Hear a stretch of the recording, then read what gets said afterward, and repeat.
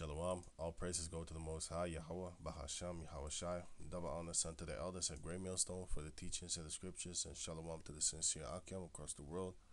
Now, I said I would do a quick video, a real quick one, about the word family in this book, the Zondervan Bible Compact Dictionary, right? It says this, uh, right here. Family. The concept of the family in the Bible differs from the modern institution. The Hebrew family was larger than families today, including the father of the household, his parents, if they live in, his wife or his wives, his wife or wives and children, meaning there was more than one wife. Okay, so that's legal, and uh, is is is a normal thing.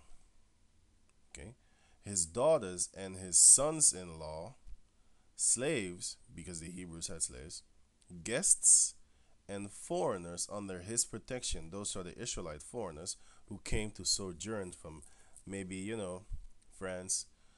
I mean, uh, I wanted to say in this age, but in those days, just uh, somebody from another land. Maybe you're a, you're a Manassite, and uh, one of your brothers from Naphtali came, you know, from another land, for example, or vice versa. Anyway, marriage was arranged by the father of the groom, meaning the father of the daughter, and the family of the bride.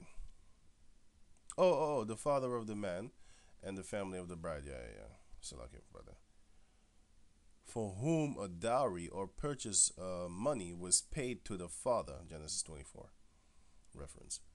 Polygamy and um, concubinage were practiced, meaning um, you can have a different wife, you know, multiple wives. Though not favored by the Most High, that's a lie. That's a lie. That's a bull-faced lie. You see, here they're going off. This is a bull-faced lie, because Jacob had the four wives. Uh, uh, Abraham, the forefather Abraham, he had uh, multiple wives, man. He had maybe it was something like four or something or five, and then Sarah, which which would make six or five.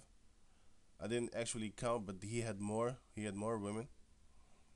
E Egyptian women and one bond woman was Hagar, who who bore him Ishmael, and Sarah bore him uh, Isaac. Going on. This is a filthy, filthy, filthy Edomite lie, though not favored by God. What a goddamn devil. Anyway, the husband could divorce the wife, but she could not divorce him. You see, this is how it actually is supposed to be. The father of a family had the power of life and death over his children. That is how it's supposed to be.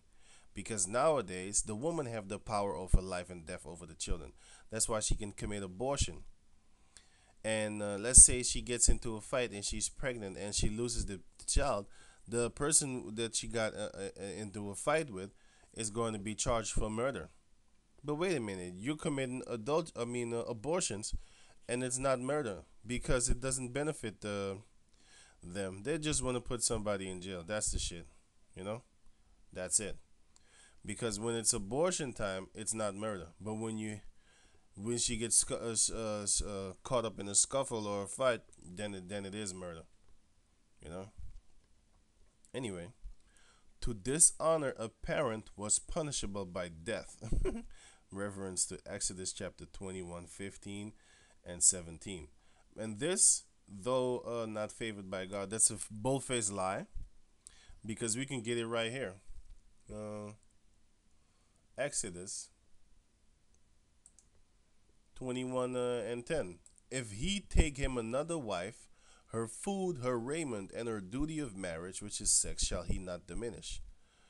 And if he do not these three things, then she shall go out free without money. And to show you that they're goddamn liars, the so-called white man is a liar, he puts truth, but in his truth, he always has them lies. Because you can check that out in the book of Deuteronomy, chapter 21, um, no, no, no, 22. Now check this out. Deuteronomy 22. I'll go here. Deuteronomy 22, verse 30. Now check this out. A man shall not take his father's wife, nor discover his his father's skirt. So if your father has a little pretty young thing, you're not supposed to have sex with your father's wife. That is what Reuben did with Jacob. Reuben had went into one of his concubines and slept with her, with her.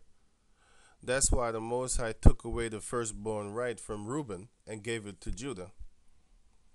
So a man is allowed to have multiple wives, and the Most High is not actually hating on that because he's the one that supplied that theory. Because Ab- because uh, Abraham, um, um, King David did it, King Solomon did it, even though he started to worship those women. King Saul did it also. He had multiple wives. Uh, King David had multiple wives. So this is a bull-faced lie. This is a this is basically an abomination, man. This is a lie. Anyway, to dishonor a parent death. Okay, the New Testament concept concept followed that of the Old Testament, so it's the same. Parents and children, husband and wives, master and slave were enjoined to live together in harmony and love. Ephesians chapter 5 verse 22 and also chapter 6 verse 9. So yeah, there you have it. The word family. The man is actually the boss of the family. And with that, I'm going to say all praises to the Most High Yahweh Bahashem Yahawashi. Double honor to the elders of Great Millstones, of course, and shalom to the sincere Akim.